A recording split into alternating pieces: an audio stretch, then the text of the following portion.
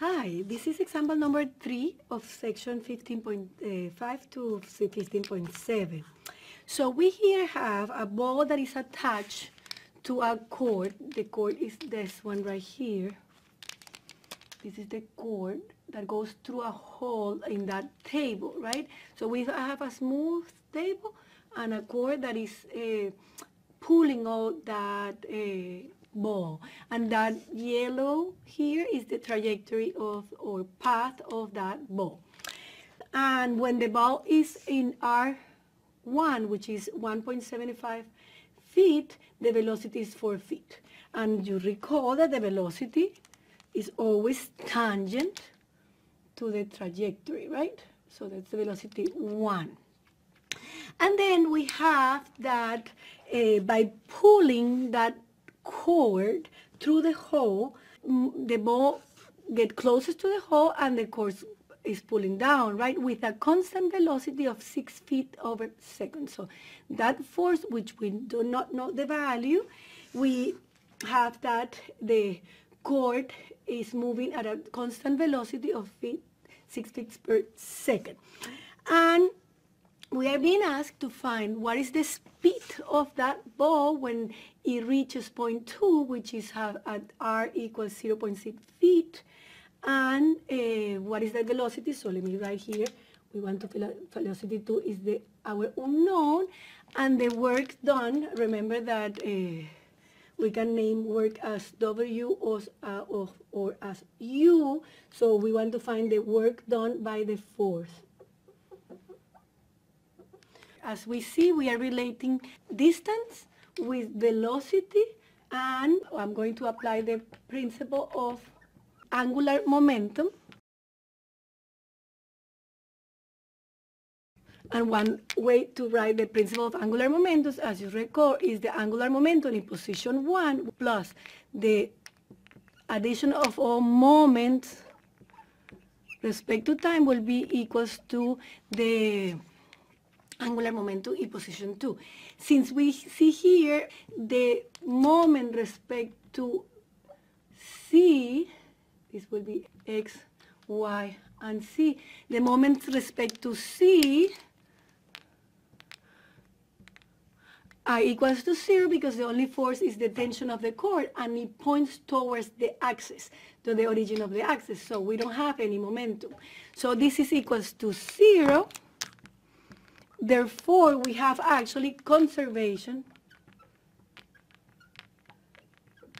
of angular momentum in c direction, right?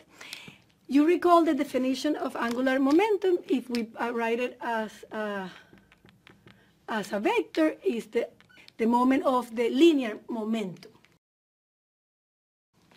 since we are working only in c direction, we can write it as a scalar quantity, which will be that one right here. But it's always important to uh, recall that this is a vectorial product or cross product because the, the components that contribute to that angular momentum are perpendicular.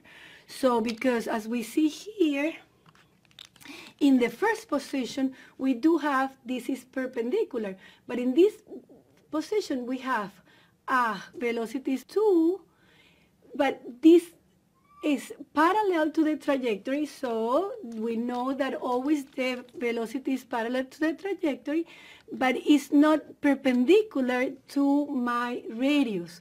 So I actually have two components. Let me draw it in a different color.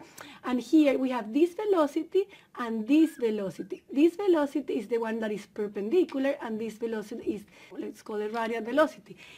Uh, because the velocity is tangential to the trajectory.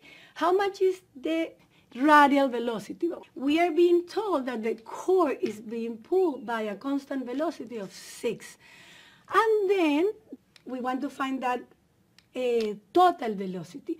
So we will have to find this component, which is perpendicular to the radius, and then find the, the magnitude of the velocity. So we have that here, so this will be r, and this will be h2 will be equals to radius 2, mass of the ball, which is given, times the velocity, but the velocity of 2 perpendicular. So let's call that, I call it perpendicular. Then we have that here, so R1 MVR uh, what is equals to R2 MV2. These two masses are exact same mass, so we have here that R1 is 1.75, then the velocity, which is perpendicular, which is 4, equals to R2, which is 0.6, times the velocity perpendicular. So we can solve for velocity that is perpendicular, and we get the value that the velocity, the component perpendicular to the cord is equals to 11.67 feet over second. So to get the total velocity or the magnitude of the velocity, the velocity of 2 will be equals to the square root of the velocity perpendicular, I just add times the velocity that I call radial. And the velocity radial, as we, we know, is the 6 uh, feet over second uh, that is being produced by the force pulling the cord. So this will be equals to the square root of 11.67 square plus 6 square.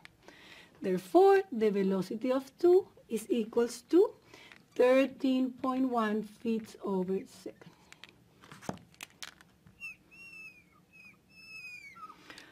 Okay, so that was the first part that we were asked to find, which is the speed of the ball at instant 2.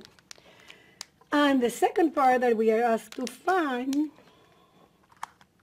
this is the solution of the first part, right? And the second part that we are asked to find is the work done by the force. We calculate the work done by the force with the principle of of work and energy. In this case, we do not have potential energy, we only have kinetic energy and work done by that force. So, well, the way that I like to write it is work is T2 minus T1. This is the same expression, same as T1 plus work done equals T2, right? So you can write it as this or this. Work done is the difference between the two kinetic energies or well, kinetic energy in the first position plus the work done by the forces, this is the work done by the forces, is equals to energy in the second position. I'm going to use that one here. So the work done by the force will be equals to the kinetic energy in the second position. We already have the, the value of the velocity, which is then 1 half the mass times the velocity 2 minus 1 half mass velocity 1 square. And the mass, you remember that, as you recall, in British units, the weight is a base unit and the mass is a derived unit. So we have to, to get the mass, we have to uh, pull the weight and divide it by the gravity. So it will 1 half of the mass, which will be 0.8 divided by the gravity, which is 32.2, times the velocity 2, which you already calculated, 13.1 square, minus 1 half the same mass, times the velocity in the first position, which is given, which is 4. So the work done by the force between the position 1 and 2, you have to calculate these values, and this gives me 1.94 feet pound.